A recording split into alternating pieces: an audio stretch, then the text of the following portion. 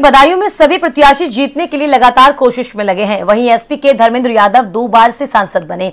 इस बार जनता के बीच विकास कार्यों को लेकर फिर हाजिर हैं। इन्हीं मुद्दों को लेकर धर्मेंद्र यादव से खास बातचीत की हमारी संवाददाता नगमा शेख ने। आइए आपको सुनाते उन्होंने क्या कुछ कहा है।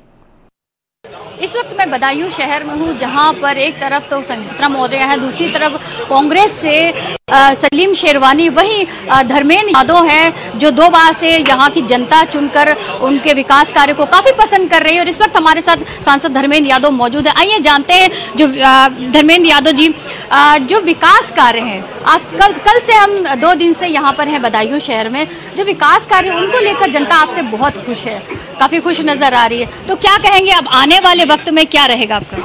देखिए, मैं सबसे पहले धन्यवाद दूँगा माननीय नेताजी को, माननीय अखिलेश यादव जी को, जिन्होंने मुझे बदायूं जैसी शानदार सरजमी की सेवा का मौका दिया। और जब मैं यहाँ आया था तो बहुत पिछड़ापन मेरे सामने था, मैंने महसूस किया, लोगों से समझा चीज़ों को। और जब माननीय अखिलेश जी मुख्यमंत्री बने उत्तर प्रदेश में 2012 में। 12 से लेकर 17 तक मैं एक भी दिन सुकून से नहीं बैठा, बल्कि मैं हर दिन बदायूं के विकास के लिए नित्य नए काम करने की कोशिश करता रहा और शायद उसी का परिणाम है कि जनता आज इन चीज़ों को पसंद कर रही है। और मैं इस मौके पे आपके चैनल के माध्यम से धन्यवाद दूँगा अपने क्षेत्र के लोगों को, जिन्होंने हमारे की हुई मेहनत को स्वीकार कर रहे हैं अप्रिशिएट कर रहे हैं। अनमूनन ये बहुत कम नेताओं को सौभाग्य मिल पाता है कि उनके क्षेत्र के लोग उनके किए हुए कामों को अप्रिसिएट करें।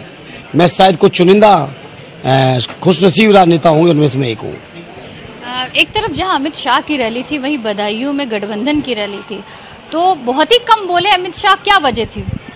आ, सुनाते किसको? वहाँ सुनने वाले नहीं थे।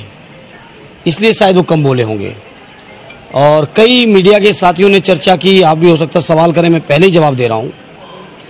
चुनाव को लेकर लोग चर्चा ज़रूर कर रहे हैं, क्या रहेगा, कैसा परिणाम आएगा। तो मेरा इतना ही कहना है कि आप बधाई में हैं, दो दिन से और एक दो दिन रुकिए और दोनों रैलियों की केवल तुलना करिए और समझिए उसको। और जो दोनों रैलियों में लोग आए थे, उसी के अनुरूप इस बधाई के चुनाव का परिणाम होने जा रहा है। इससे पहले भी हम बदायूं आए थे, यहाँ की जनता से मिले, लेकिन रैली के बाद काफ़ी चेंज हो गई है, जो यहाँ की पब्लिक है, वो लगातार आपका नाम ले रही है कि बदायूं से इस बार जो विकास कार्य हुए हैं, उस पर धर्मेंद्र यादव जी को ही चुनेंगे। तो जो आने वाला जो वक्त होगा, उसमें किस तरह से विकास कार्य करेंगे? देखिए, सबसे पहले तो अब ये चुनाव एक फेस है, इसको क्रॉस होने दीजिए।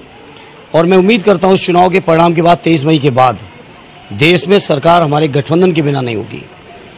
और जिस भी सरकार में समाजवादियों की भागीदारी होगी, या माननीय अखिलेश जी की कलम में ताकत होगी, हमारे गठबंधन के नेताओं के, माननीय मायावती जी की कलम में ताकत होगी, मैं उस ताकत का इस्तेमाल ज़रूर अपनी बधाइयों की तरक्की के लिए पहले भी मैंने किया माननीय अखिलेश जी का। और आने वाले समय में मैं कोशिश करूँगा, दिल्ली की सरकार जब बनेगी तो बड़ी बड़ी योजनाएँ दिल्ली सरकार से लाने की मैं कोशिश करूँगा। और मैं खुशनसीब इस मामले में हूँ कि मैंने आज तक अपने जनता की भी जितनी भी बातें कही और वादे किए, उनको एक तो मैंने ईमानदारी से पूरा करके दिखाया है। और आने वाले समय के लिए अगर मैं कोई बात कहता हूँ तो लोग हम पे भरोसा करते हैं। और ये मानते हैं कि अगर धर्मेंद्र की बस चलेगा, क्षमता होगी तो धर्मेंद्र बधाई की तरक्की के लिए कुछ ना कुछ ज़रूर करते रहेंगे। ये भरोसा बधाई के आवाम के बीच मैंने 10 साल की मेहनत में कमाया है, शायद मेरे जीवन की। इससे बड़ी कोई पूंजी और कमाई नहीं हो सकती जो बधाई के लोगों का विश्वास मैंने कमाया है। आपको लगता है कि बीजेपी से आपकी सीधी लड़ाई है? देखिए मेरी किसी से लड़ाई नहीं है। लोग ज़रूर अपनी जमानत के लिए लड़ रहे हैं कि जमानत उनकी बच जाए। बाकी तो आप ही तय करके आई हो आप ही सुन के आई हो देख के आई हो कि बधाई के आवाम के दिल में क्या है। और जब इतना आवाम के दिल में बेहतर परिस्थितियाँ हों तो ये मुझे चिंता नहीं है कि कौन क्या करेगा कौन दो पे आएगा तीन पे आएगा। हाँ ये ज़रूर देखना है कि कितने लोग अपनी जमानत बचा पाते हैं। बहुत शुक्र है हिंदी खबर से बात करने के लिए। तो ये थे धर्मेंद्र यादव जिन, जिन्होंने बताया कि उनकी जो लड़ाई है, वो किसी से नहीं, लोग अपनी अपनी कोशिशों में लगे जमानत बचाने के लिए और जो जनता है, वो विकास कार्यों को लेकर चुनेगी इस बार भी धर्मेंद्र यादव को। वीडियो जर्नलिस्ट राहुल के साथ नगमा शेख, हिंदी खबर बधाई